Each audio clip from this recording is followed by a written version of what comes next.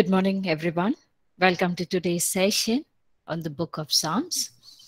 Before we could start, I would request one of us to please lead us in prayer. Can I request Jeffina to start our class with a word of prayer?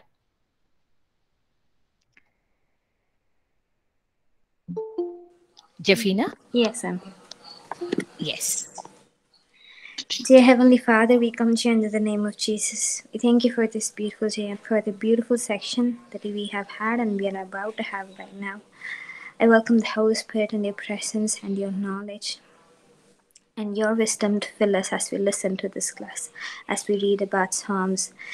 Let everything that we learn be pasted in our heart and let us apply it in our life and enjoy every second with you. I pray that you fill our man with wisdom and everyone who is listening to this class with the understanding of your heart. In Jesus' name I pray. Amen. Amen. Amen. Amen. Thank you. Thank you. So today we're going to study on a very interesting book, and it's also one of my favorite book. That is the Psalms, the book of Psalms, which is one of the biggest book in the Bible. I'm sure Psalms would have been uh, the favorite book of many of us, isn't it? So, uh, can you please tell me, like, how often would we would have read this book of Psalms? How often we would have read this book of Psalms? Yes, Sid. Most days. Yes, John. Sorry. Most days, I think. Most of the days. Okay, okay, okay. Sid, how about you? Ma'am the book of psalms is like a it is like a regular meditation whenever we are asked to read bible or somebody we if we are going out it is a habit to read bible suddenly it is in the middle of the it is in the middle of the bible so directly the fingers goes in the psalms and we have to read it like we Okay, love to read it actually Yeah. So is it something like it's middle of your Bible? Do you just tend to open whichever Psalms you get, we read it, or how is it? How is it, Sid? ma'am like for whatever the person if you are going to, if you need any like you need to know there is a psalm for each and every purpose. Like if you are in distress there is a psalm. If you are happy you should celebrate there is a psalm. For marriage there is a psalm. If somebody is sick in your family there is a psalm. So psalms 91 talks about like how god will protect your angels will guide them. So for in my life the book of psalms has blessed me. And I, I believe like if you are going through each and every problem, the God has a specific psalm that God will talk to you through this psalm. Beautiful, beautiful. Thanks, Sid, for sharing that. That's right. Okay. Uh, yes, Divya, you would like to share something? Uh, uh, yes, uh, I was just telling like it is a favorite portion during personal worship as well as family time. Yeah, I don't remember uh, like how many times, um, especially growing up as a kid, you know, in our um, family time, uh, prayer time, we used to just go around from 1 to 150 psalms just um, yeah uh, like a cycle yeah Yes, that's good. yeah yeah Jeffina, you would like to share? Mm, yes. So Psalm, uh, I used to read it every day, uh, even though I read all the other passages of the Mhm. Bible.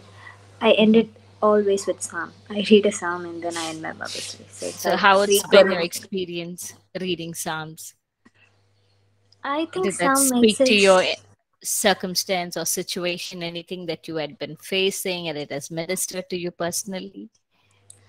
I think every day I read Psalm, and every time I learn something new from it. Uh, even though sometimes I read the same passage, but something new is revealed. And Psalm is something that gives peace to our heart, I think, because it's all about praise and all about thinking of how God is.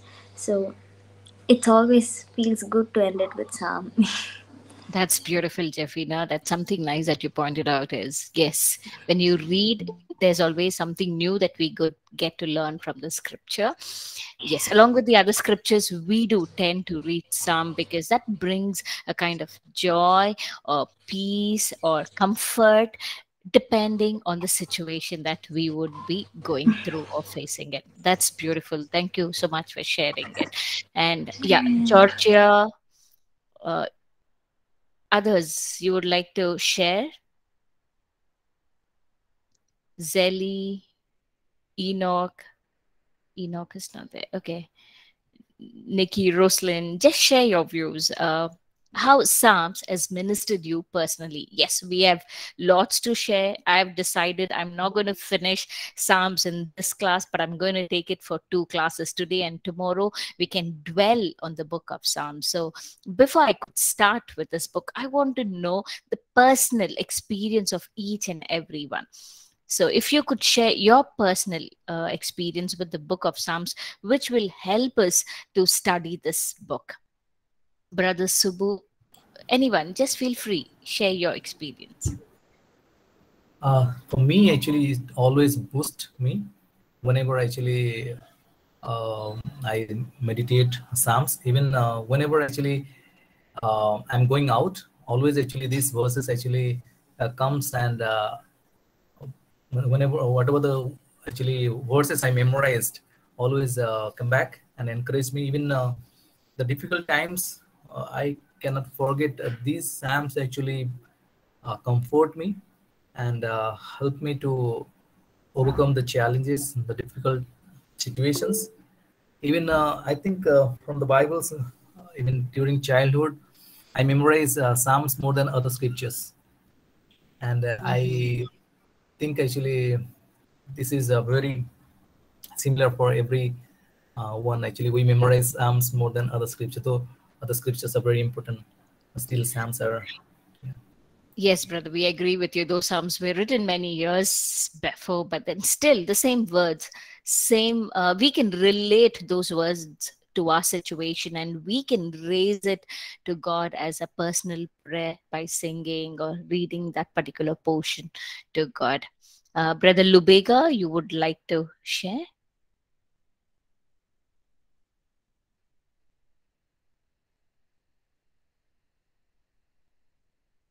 Zelly?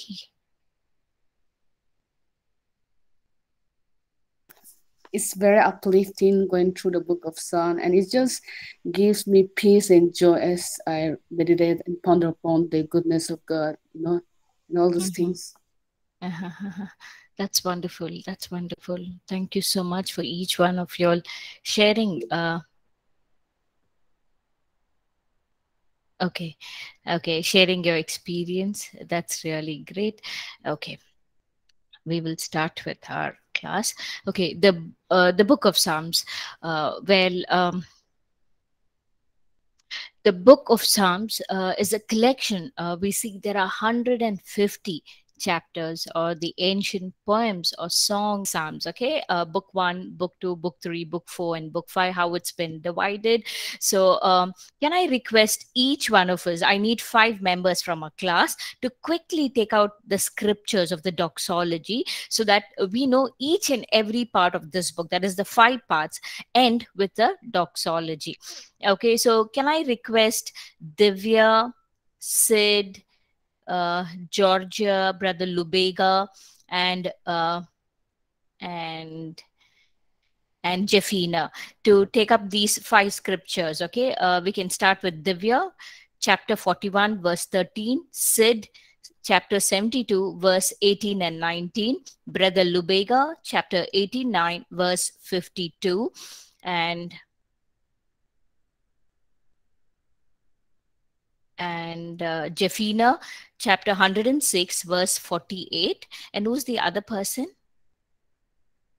Miss Georgia, you said. Georgia, Georgia, uh, can you please take up Psalms 150, verse 6? Can I start? Yes, please. Psalms 41, 13. Praise be to the Lord, the God of Israel, from everlasting to everlasting. Amen and amen. Amen. The next person? Psalms 71. 72. Psalm 72, verse 18 to 19. Psalms 72, verses 18 to 19. Praise be to the Lord God of Israel, who alone does marvelous deeds. Praise be to his glorious name forever. May the whole earth be filled with his glory. Amen and Amen. Amen. Next. Psalms 89, verse 50.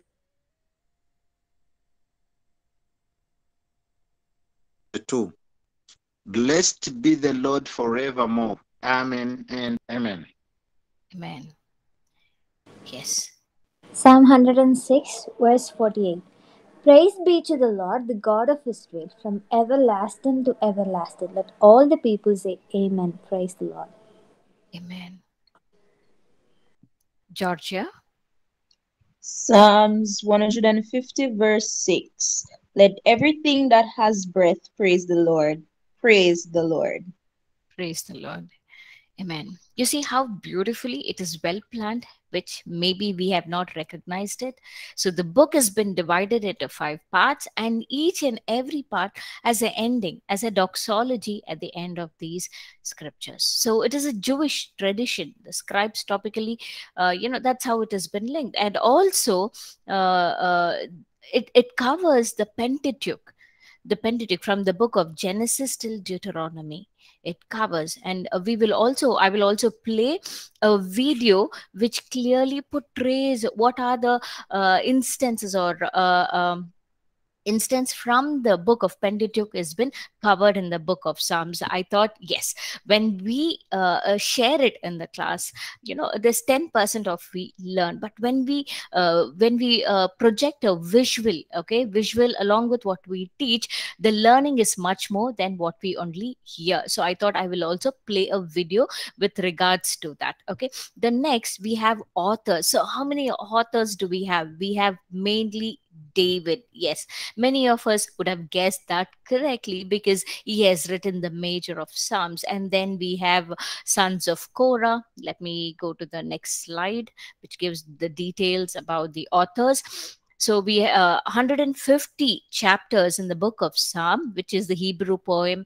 Uh, we have um, uh, uh, three, six, seven. There are seven poets. Okay, David was has written most of the uh, uh, psalms. Like 73 chapters have been written by david. And then we have uh, asaph who was a worship leader uh, who was a worship leader who served along with david in his time. And he has written 12 psalms and uh, Asaph, a priest who also served as a worship leader in the ancient Israel along with King David, and he was able to write 12 Psalms. And the sons of Korah, uh, he was a glide of singers and uh, also a composer of music, and he has written uh, about 10 Psalms. And then we have Eman. Uh, we call it um, him as Eman, or some pronounce it as uh, Haman. He was a wise man, a musician, and he was also an Ezrite, uh, uh, one of the son of Korah, and was a founder of Korite Koya we see that when we study the book of second chronicles so he wrote psalms 88 now there's a contemplation whether uh, um, psalms uh, uh, yeah he, he wrote psalms 88 okay and then um, Ethan was also a wise man in uh, uh, Solomon's kingdom. He was an Ezrite, probably a Levitical singer. So he wrote one of the Psalms, that is Psalms 89. And then we see Solomon, King Solomon, David's son, who wrote two Psalms, that is Psalms 72 and Psalms 127. And then we see uh, Moses, uh, a psalm, one of the Song of Moses has been recorded as Psalms 90.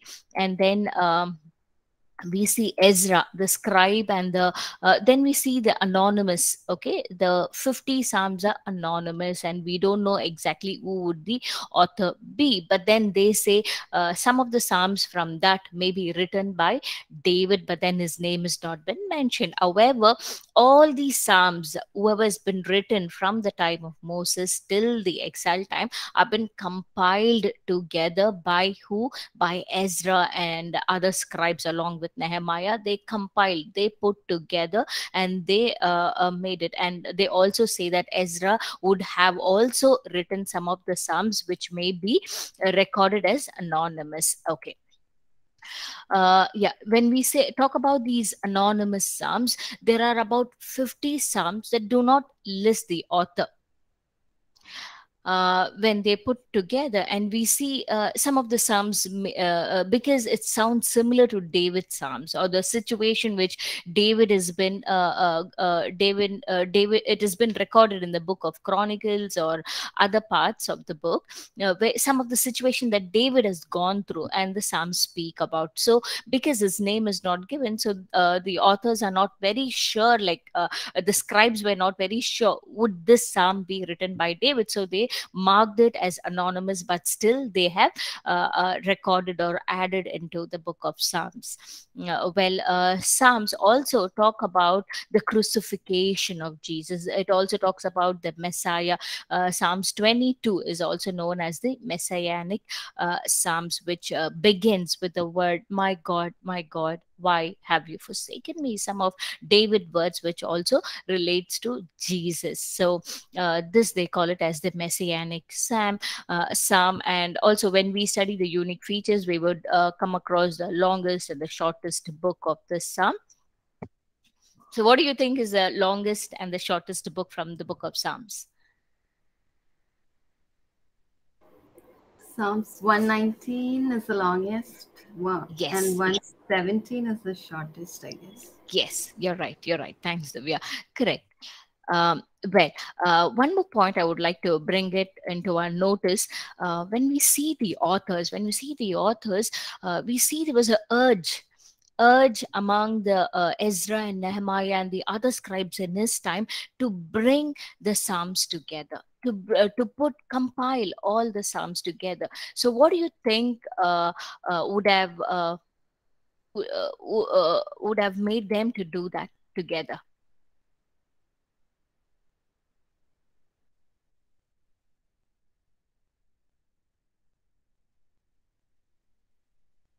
Nothing. There was an impression I feel this is what I feel. There was an impression by the Holy Spirit to do that together so that today we will have the compiled version of Psalms, which is a blessing to each one of us.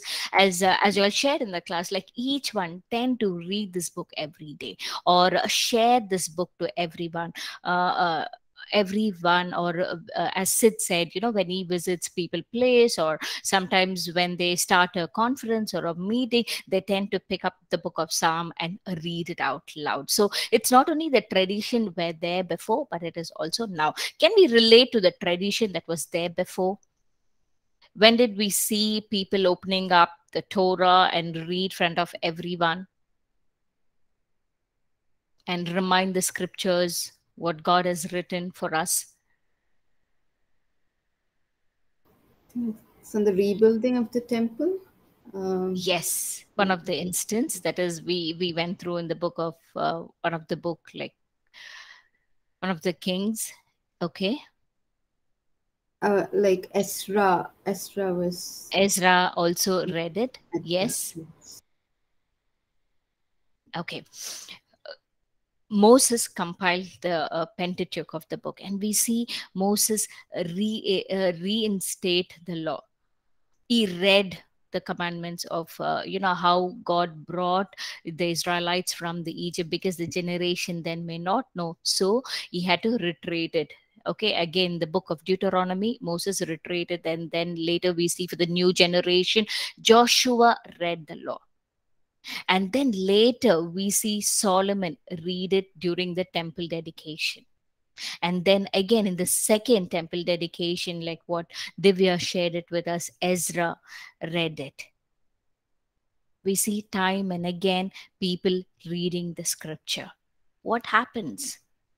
They have been reminded the goodness of God. They have been reminded the love of God. They have been reminded that God is our Redeemer despite the situation. Even in the exile, even in the exile, the main reason for Ezra, Nehemiah, and all the other scribes uh, uh, put together, they, they worked day and night to compile these Psalms together they didn't have the technology. They didn't have the facility what we have today. It was in a very hard way. They brought they compiled the scriptures together. So psalms was a very hard work put together. The effort that they put then is uh, you know has been uh, benefited even till date. Even now. Even now and also god didn't stop for that. You see everyone birthing there's always a new song being birthed out of the book of psalms. Not only then david wrote it but still those songs are made live. Even now people are able to take out the scriptures take out the psalm and add a tune new tune to it and sing and praise god we see during the pandemic uh, there was a song released by the elevation church. Um, can anyone guess what song is that?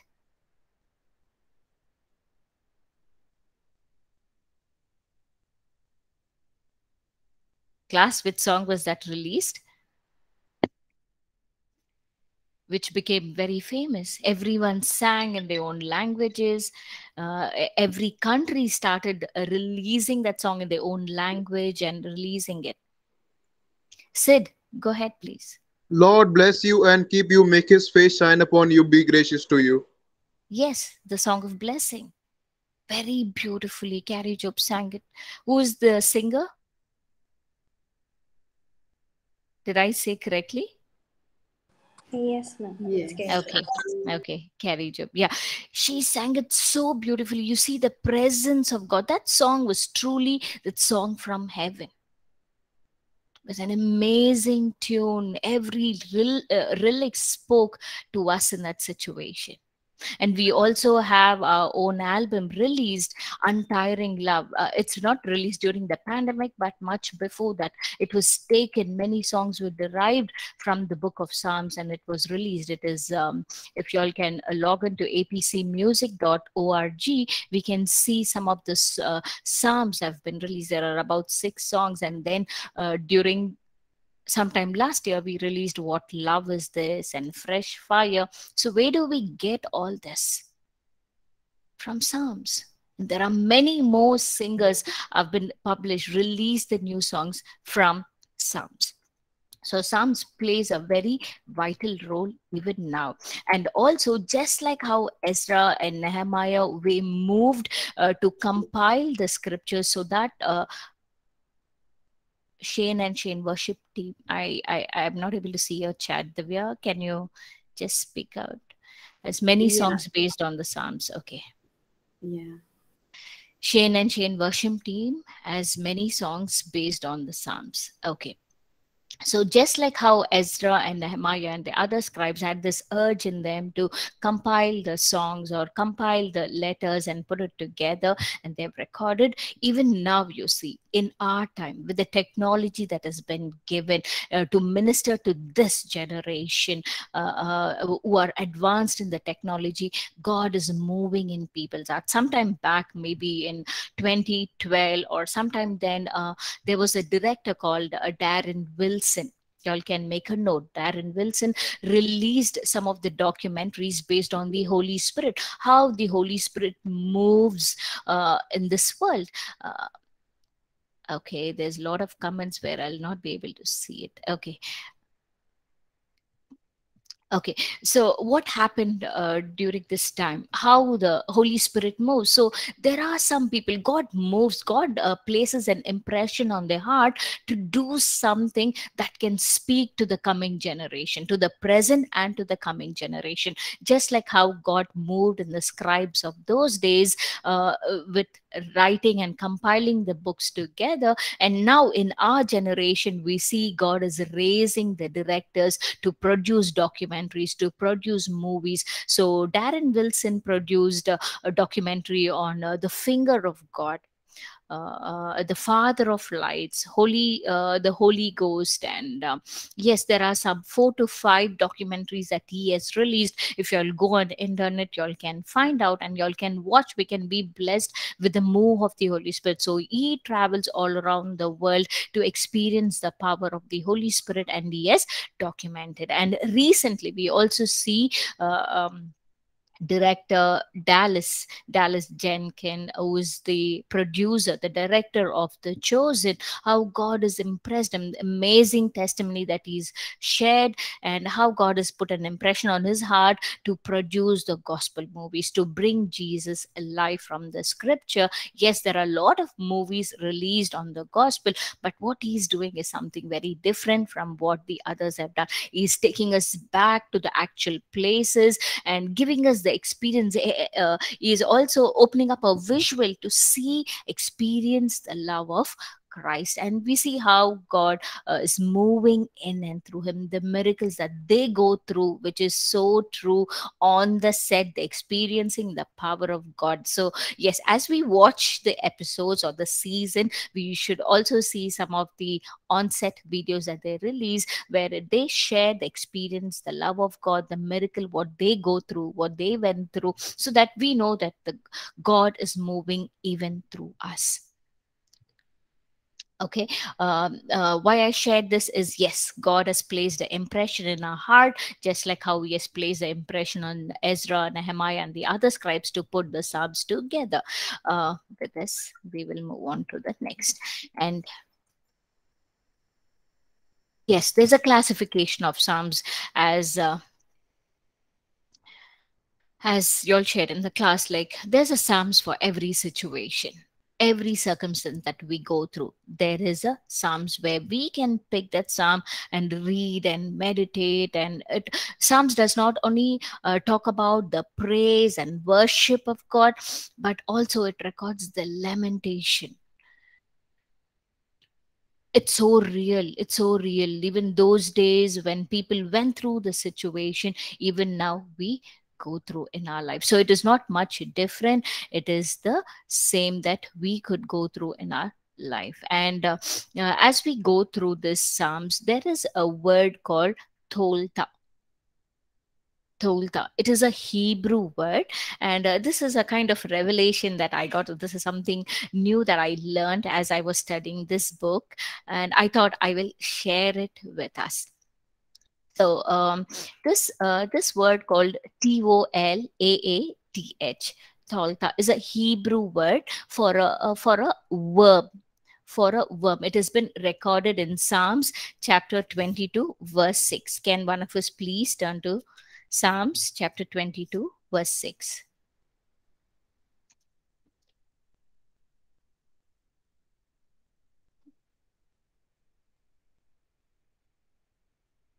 Okay, due to time, I'll read. But I am a worm and no man, a reproach of men and despised by the people. So, this worm, this word is also translated as scarlet 34 times in Psalms, and worm as eight times, and crimson as one. So, what is it? What is that they are relating to a worm? So, something new that I learned is um, inside of this worm, when this worm has been crushed, uh, it produces a scarlet dye for clothing and the material. So they used to use this worm in those days. In those days, they used to use this worm to dye. To, to produce dye, to produce the scarlet or the crimson dye, a reddish color or a purplish reddish purple color this was the color they used to get when they crushed that worm so the worm before its death would climb a tree, a big tree, and suspend itself from, uh, uh, it used to move from one branch to the other. And when it is moving from one branch to the other, there is a, uh, it, it produces a jelly uh, something like how we, would have seen snails move from one place to other. So it leaves a wet surface wherever it goes. There's a white transparent jelly that the snail will leave. But this worm used to produce a scarlet kind of gel when it moves. And what happens this gel uh, uh, it has been exposed to the weather to the sun to the climate. And then this gel uh, slowly uh, which is in the scarlet color a scarlet stain would turn to become white and flaky okay? And then it'll fly like a snow. So this reminded isaiah. Can we turn to the book of isaiah chapter 1 verse 18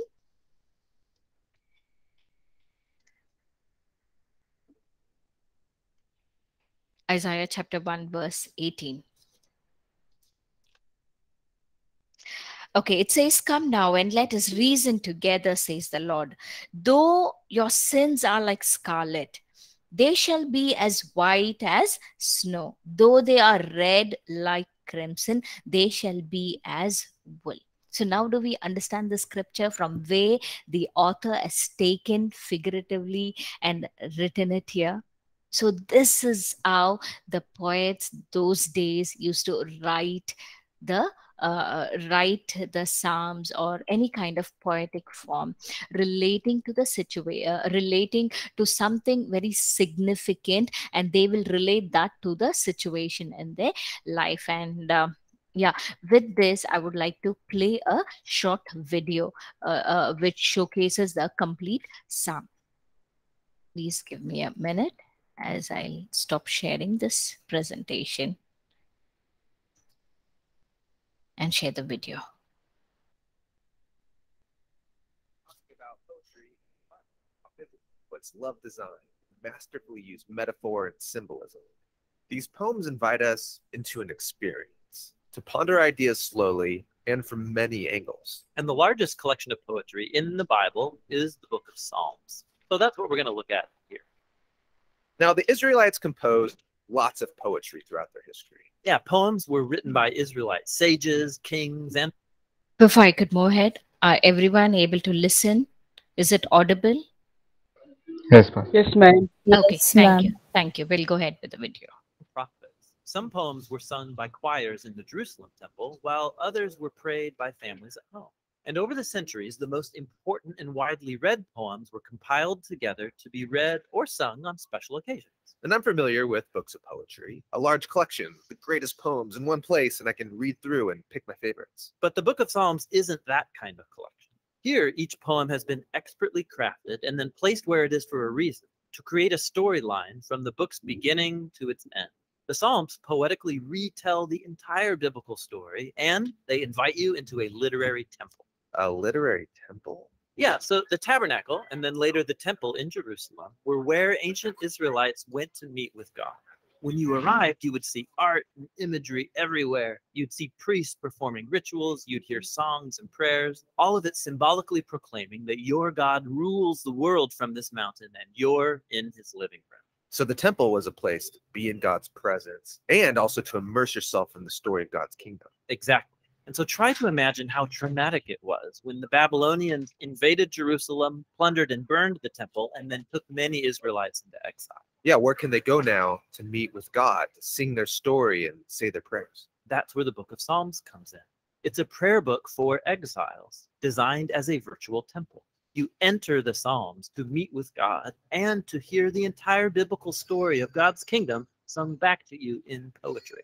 Cool. But how does the Psalms do it? Let's start with the book's design. There are 150 poems broken up into five clear sections. At the beginning, there's been placed a short introduction, Psalms 1 and 2, which lay out the main themes of the whole book by reviewing the biblical storyline. Okay. Psalm 1 looks back to the Garden of Eden and its river of life. Yeah, God placed humanity in a garden temple. And here, humans decide to define good and evil on their own terms and so are exiled from the garden. But the first psalm paints a portrait of hope about an upright human who delights in God's wisdom, which is called Torah or instruction. This person is like the tree of life in the garden temple. They eternally blossom because they're planted in the river of God's life. Yeah, that's beautiful. But who's it supposed to be? Well, remember that story in Genesis? After humanity's foolish rebellion, God made a promise. Oh, right, a future human, the seed of the woman who would come and defeat evil and restore the world.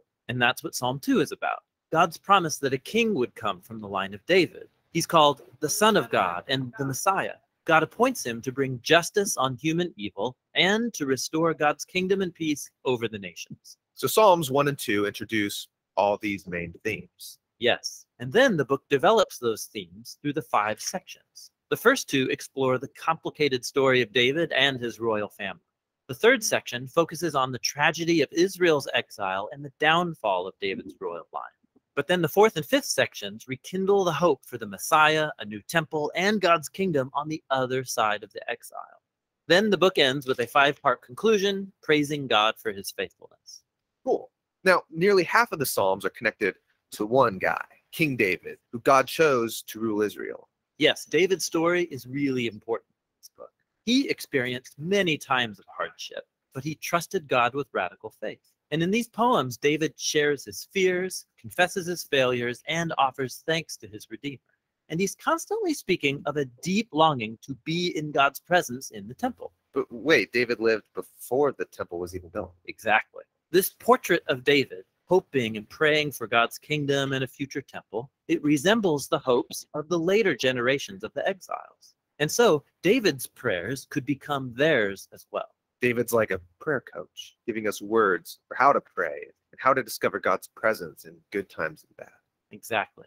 There are 73 poems connected to David, but most of the rest come from later generations of biblical poets. And they have learned to pray and hope like David. And so the end result is the book of Psalms, designed as a virtual temple for all generations of God's people. This isn't a kind of book you just read once and put down. No, it's designed for a lifetime of slow rereading and reflection. These prayers and laments and songs of praise are meant to become our own. They're poems for exiles who are learning to live by God's wisdom and to seek God's justice in the world as they hope for the coming Messiah and the kingdom of God.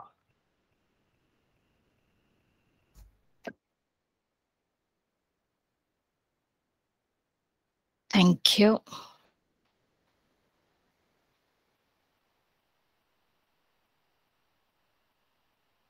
So there's a lot of learning from this, isn't it? I'll share the link for this video. It is available on YouTube. So please, y'all can watch in your personal time and go through it. It's an amazing video with a lot of graphics and gives us an introduction to the whole book as well. So whatever we cover today, it's just an introduction of Psalms. And I will just go back to our presentation.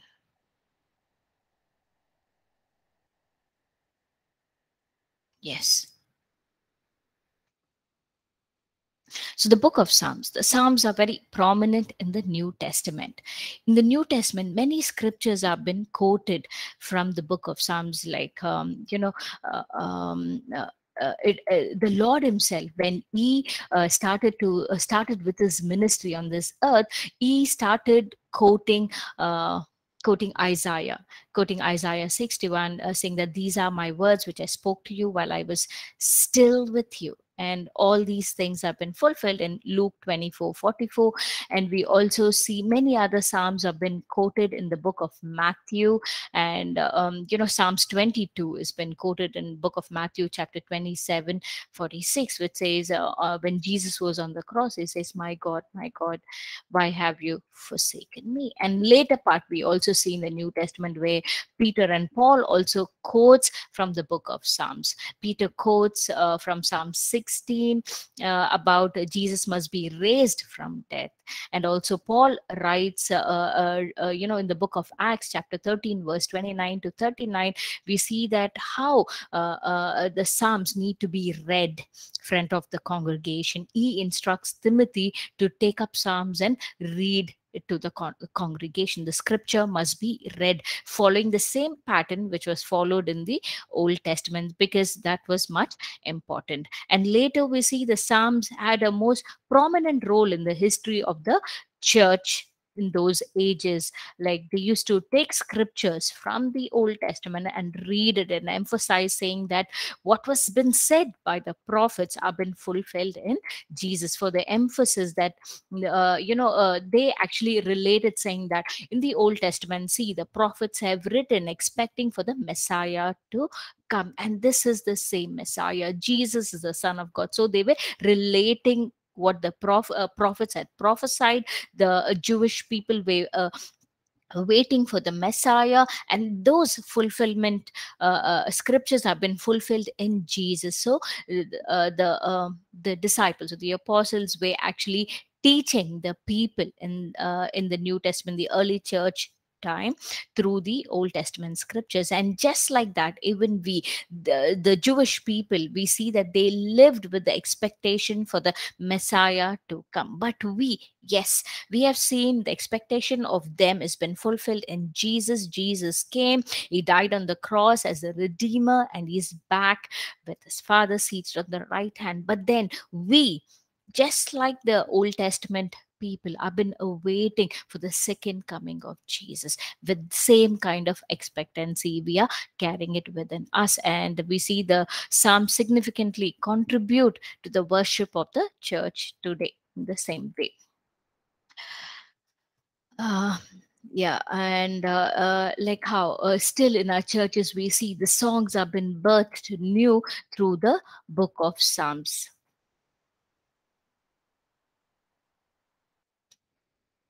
yeah.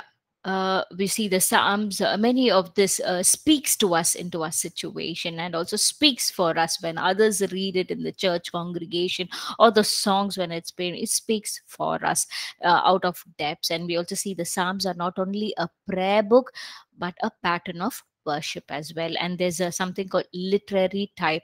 Psalms gives us a wisdom. It shows how royal it was. And there are certain instances where they lamented and where we can apply it to our situation in our life. And there's imprecatory psalms there's thanksgiving psalms pilgrimage psalms enthronement. So we can read these books as per our need in our life. So there are many unique features, but there are few. I wrote it, but we can study it even tomorrow due to time. It was uh, it is a worship hymn for the Hebrew people, and even today for us. And most of our traditional churches, we see most of our books have been come out from Psalms. Even I remember in my Sunday school taking up one of the Psalms and coming up with a tune for us. They taught us how to come up with a tune and sing in your own tune and rejoice and praise God. And uh, it is uh, also some the largest book of the Bible. We see 150 chapters is one of the largest book but something that i feel is we don't uh, uh, feel tired reading this book instead there is a joy there is life in this book when we read you know we can relate to a situation we can cry out to god in our situation. We can rejoice uh, over um, psalms applying it to our situation uh, and we also see most of the psalms when david has written it. He has written during his difficult time when he was running for his life from saul and then from his son absalom and then from the other kings. He was trying to hide in the caves for his life. But in all a situation we see that he's raising a praise just like how there's a song raise a hallelujah to god. We see that literally uh, david raising an hallelujah to god raising a praise to god. You know psalms 103 which is so famous saying that bless the lord o my soul. Bless his name. And do not forget all the things that i have and bless his name so much of gratitude when he was running for his life from caves to another cave for his life along with his children and his family. And that time you know psalm uh, david praises god saying lord i bless you for all the good things that you have done for all the blessings that you have given. I bless you. There is no reason you know he comes to god and he complains or you know of his troubles and all but we see the heart that he carried. That maybe that's the one of the reason that god says he is a man after my own heart. One thing we should know that uh, none of our situation are hid in front of god but god knowing everything you know. But no despite everything he's asking us to praise him. That's what even in the new testament paul writes praise god in all situation. Give thanks to him we have to have this heart of gratitude despite a situation. So we need to carry the heart of david and uh, rest is all the same that we know. Uh, regarding the foreshadowing we can study as we study the scriptures tomorrow of some of the uh, chapters of psalm we will take and study. That time we can study the foreshadowing of uh, psalm. So with this we will end this class uh, anyone would like to share your views, your thoughts, you would like to add how Psalms has ministered to you, you can go ahead or something new that you learned from this class.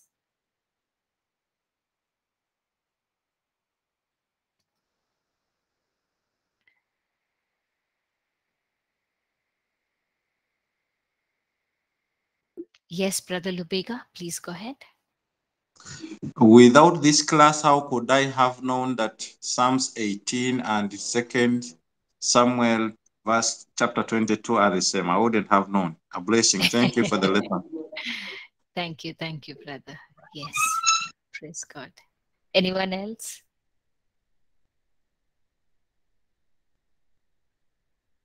Zali, what was your learning?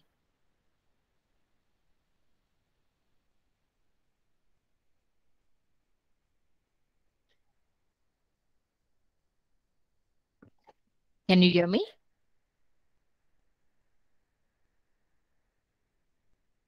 Okay, as the time is up, we will end this class with a word of prayer. Can I request John to please lead us in prayer? Let's pray. Father, we so grateful for so grateful for revealing your mysteries to us, O God. We thank you for the book of Psalms as we learn today. Yes. Lord, we pray that we would be able to continue to read and understand your mysteries from your scriptures and to apply it in our lives, O God. Help us to be a worshiper at all times, O God. We Yes, thank you for this beautiful time you've given us. Uh, we bless each one of us, O God. We thank you for Lord. teaching us your ways. We give you all the glory and praise. In Jesus' name we pray. Amen. Amen. Thank you so much. Thank you. God bless. We can come with a lot of expectance tomorrow to read on this book of Psalms. Okay. Thank you. God bless. See you all. Have a blessed day.